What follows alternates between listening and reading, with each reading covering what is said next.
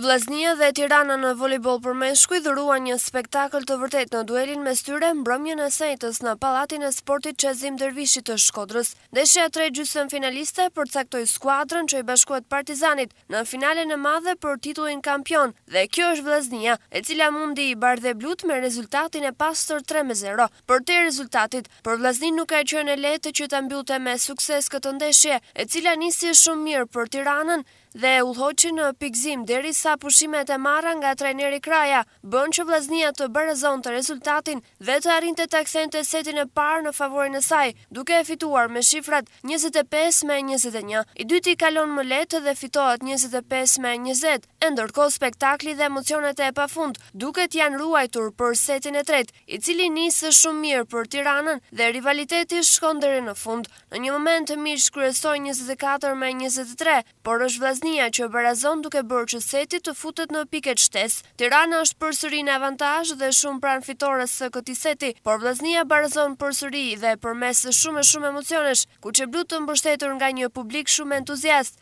arrijnë të mbyllin me fitore këtë set me shifrat njëzet e nëntë me njëzet e shtatë dhe kështu të gjithë ndeshjen me rezultatin tre me zero.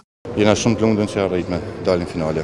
Koha për frymarrje sot, sot është festë për ne, pavarësisht se kena finalen, finalen ditën e diel, ne sot do të festojmë, pasi edhe, edhe arritja në finale është një, është një sukses në vedi. Si Vllaznia, si Partizani, janë ekipe që kanë dalë me meritë në, në finale.